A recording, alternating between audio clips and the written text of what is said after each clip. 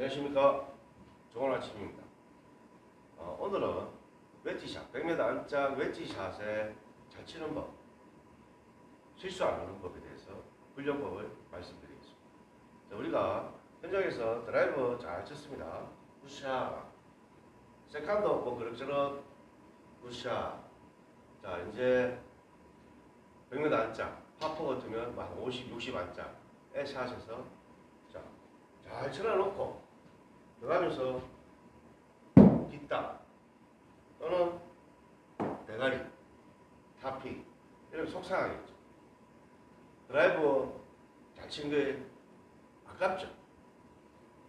자, 100m 안짝 웨지샷을 좀 잘 칠 수 있는 방법은 자 지금 보시면 공 3개가 나란히 있습니다.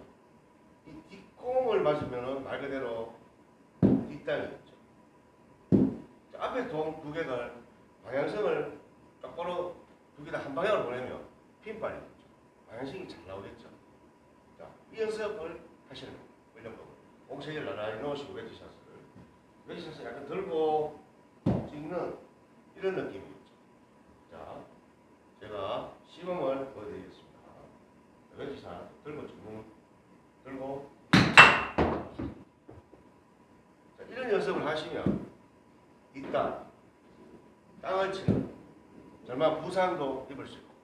자, 타핑. 공이 두 배로 들어가 버리고 온탕 냉탕을 방지할 수 있는 샷을 하실 수가 있겠습니다. 자, 항상 공 세 개를 나란히 넣으시고. 자, 뒷땅 방향성 두 마리 토끼를 잡는 겁니다.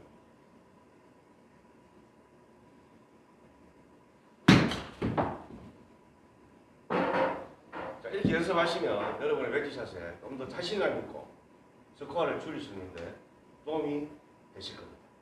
오늘도 좋은 하루 보내시고 행복한 하루 보내시기 바랍니다. 감사합니다.